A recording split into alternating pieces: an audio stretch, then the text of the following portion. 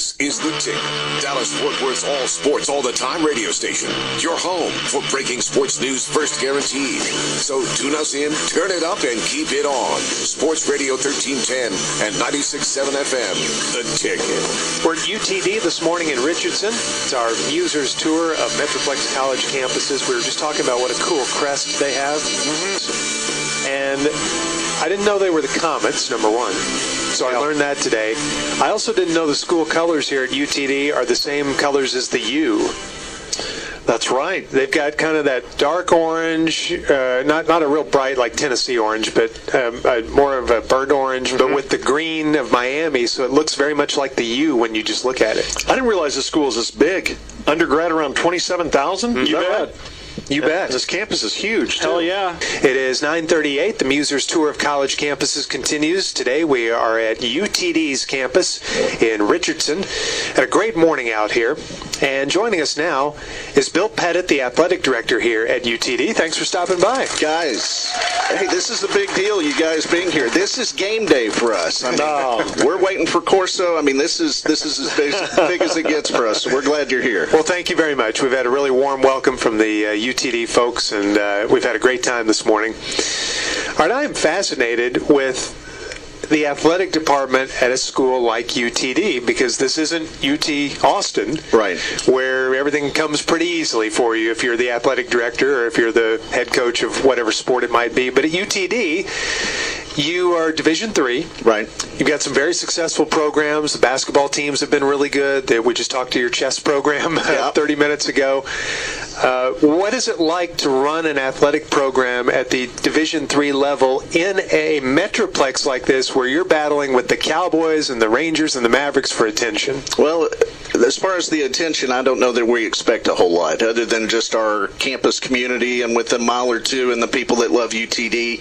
Those are the ones that we really focus on. And then, as most people may know or may not know, Division Three is a level where we give no athletic scholarships. So when a kid comes to school here, they're really coming for the academic piece, but they've played, you know, volleyball or soccer or whatever for their entire youth career, and they want to continue to play. And so you find that kind of perfect niche here, where you are able to play your sport that you've loved for so long, but you're also going in for the uh, for the academics. So, you know, in Division Three, there's about 450 Division Threes across the country. It's the largest uh, division in uh, in the NCAA. You know, the big Texas, those schools, there's about 125, and then what used to be one AA, there's about the same number, about 125. And there's about 300 Division twos, but uh, 40% of all uh, NCAA participants come from the Division three model. So, And you had uh, you've had a good year. Your uh, your basketball teams did really well. The, the boys and girls did well, didn't they? the ladies had an incredible year this year, and I know our head coach is here, Polly Thomason, and just Oh, wow. Hi. There you go, coach. Made it to the Sweet 16, had a tremendous season. Um, here's a quick water cooler fact of your college tour towns that you've been in. Uh, which school has made more NCAA selection appearances since 2010? It would be UT Dallas. Wow, really? We've had 10 tournament, uh, tournament appearances since 2010. I think SMU's had about eight, North Texas seven, and UTA's had four. I did not know that. So we've had a lot of success on a lot of different areas. Our men's and women's tennis team made the tournament a couple of years ago. Our men's soccer team made it back in the fall. We hosted two rounds of the NCAA for that. Uh, Polly's team again went to the Sweet 16. We got to host two rounds for that. Uh, the men's basketball team's had an incredible run. They've made four Sweet 16 appearances in the last seven years. Wow. Uh, made an Elite Eight appearance, and we hosted uh, two rounds of the tournament a year ago. So we've really, really done awfully well. It's it's a young university and a young department. Uh, the university itself's under 50 years old, uh, and kind of put that in perspective. North Texas started football back in 1913. It was 55 years later before UTD became a university. Wow. And we didn't add freshmen until 1990, so we're only a four-year school for the last 25 years. The um, the athletic department, we're in our 17th year of athletics, and uh, again, to kind of put that in perspective, we played our first soccer game in 1998, and six months later, Bob Stoops was hired as the coach at Oklahoma.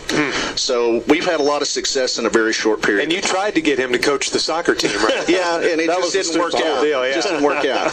So I'm interested in what you think the future looks like for UTD athletics because there are other schools in the University of Texas system that have gotten pretty big athletically, like UT San Antonio and Right. UTEP, and they've they've grown into Division One teams in certain sports.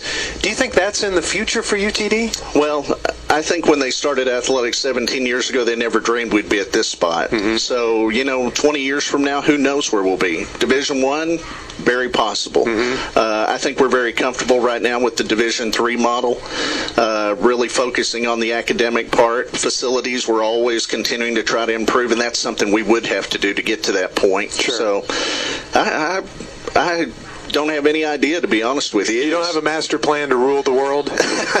well, we do have a plan, but you just never know. So, Right. uh, but I do think there's some great things ahead for the department. You used to be in radio, didn't you? Yeah, well, uh, we've actually met a couple I of times. knew. Uh, well, you know each other. You were a TSN affiliate, were you not? You know, it's funny. I did some playoff games there for them. Okay. Uh, back when I was at Tech, I went to Texas Tech. Yeah. And they would pick us up on some of those, uh, you know, playoff. I guess it Diamond was Shamrock and yeah, yeah, yeah. And I, you know, I lived down in the Midland area, so we did those Permian Basin games sometimes, and we would come to town. And then uh, when I worked at UT Arlington, we met a few times there. Yes, okay, that's right. And you were also at UTSA as well, right? Yes. Okay, yeah. Yeah. I, I knew we knew each other at some point. Yeah, yeah. So Is it's a small athletics uh, is athletics any more honest than radio? Uh, there's a lot of similarities. You know, if you need a radio guy for UTD athletics, George just got fired at North Texas. Yeah, they kicked me out. So he's, Finally. he's available. I hear he's a Hall of Famer, so that's uh, Uh, that's. we'll be on. Saturday, right? Yeah, yeah, that's right. No, I think I'm done for. You did have our mentor though, Bill Mercer, doing some games here recently, didn't you? Bill has uh, done it for quite a while, and then he went to North Carolina, and uh, Jimmy Christopher's been doing our games last. Has he really? years. Jimmy Yeah. the Saint. Oh, that's great. You'll have to YouTube him and put uh, UTD and Whitworth. That's a game we did last year that really got us kind of uh, some recognition because of his call of uh, You got it last for a homer shot. call. Yeah, he was Oh, on a wow, homer call. Yeah. Uh, do you have a swim team? Because we're sitting here looking at the pool. You know, we do not, but there's actually been talk about that. So, uh, you know, that's something that we've discussed. Because George is a big swimmer and he still has some eligibility left. We don't have a diving well. That kind of poses a problem for a swim team. Uh, Yeah, how many lanes you got in there? I don't, I don't think a half a dozen. That's so. enough. Yeah, we, we can, can host a that meet happen. here. Yeah, you bet. Let's get a Did you swim handle that pool? Did you dominate oh, in there? yeah, you bet. sure.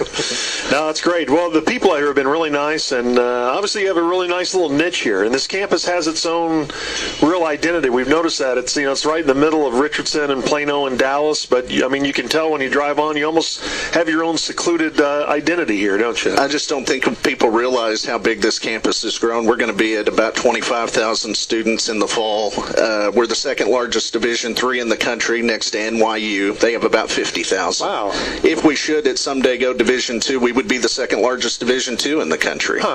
So it's a, it's a big university that has grown incredibly over the last uh, four years. They've grown 9% each year, 36% growth. And, you know, the academics are at a very high level. It's uh, on par with Rice. And, you know, a lot of times our recruits will uh, we'll lose a recruit to an Ivy League school just as much as a school in our conference. Wow. And so, uh, you know, oftentimes we'll be in the mix for a kid, and then at the last minute they'll decide they want to go to Princeton because they got some money or things like that. So it's a challenge for our coaches, but they do an incredible job of kind of combing the country, finding the real high academic kid that can play at this level because it may say Division three on the uh, letter, but the um, the quality of play, I would put it up with most mid majors. The lower mid majors at Division One, our teams could compete with those teams uh, on a daily basis. So. yeah, didn't y'all beat UTA in basketball a couple years ago? You know, I was at UTA when that happened, and we were stunned. And uh, Terry Butterfield's team did a great job. They came in there and beat us on our home floor, Yeah. took the guarantee money and the win that night. Man, how about that? Yeah. And your baseball team's won 14 out of 17. They are that, right? on fire right now. got a They- baseball player that's here this morning. So,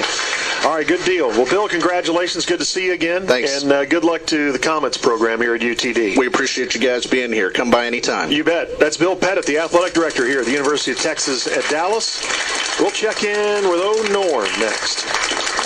On the station for sports and all that implies. Sports Radio 1310 and 96.7 FM, The Ticket.